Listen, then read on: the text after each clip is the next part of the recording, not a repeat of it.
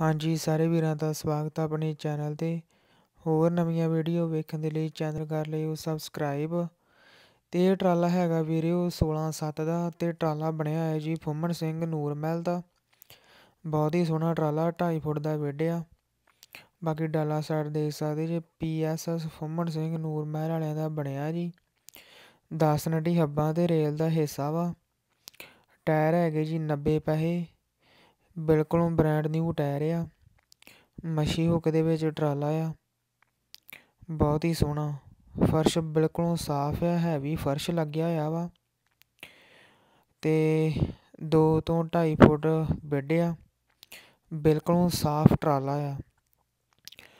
ਤੇ ਟਰਾਲੇ ਦਾ ਮੁੱਲ ਕਰਦੇ ਆ ਜੀ 2 ਲੱਖ 95 ਅਤੇ ਵੀਰ ਉਹਨਾਂ ਦਾ ਨੰਬਰ ਕਰ ਲਿਓ ਨੋਟ 9815404409 9815404409 ਅਤੇ ਟਰਾਲਾ ਬਿਲਕੁਲ ਹੈਵੀ ਆ 10 ਇੰਚ ਦੀ ਚੈਸੀ ਆ, ਰੇਲ ਦਾ ਹਿੱਸਾ ਅਤੇ 10 ਨਟੀ ਹੱਬਾਂ ਵਾ ਪੂਰਾ ਵਧੀਆ ਟਰਾਲਾ ਜੀ।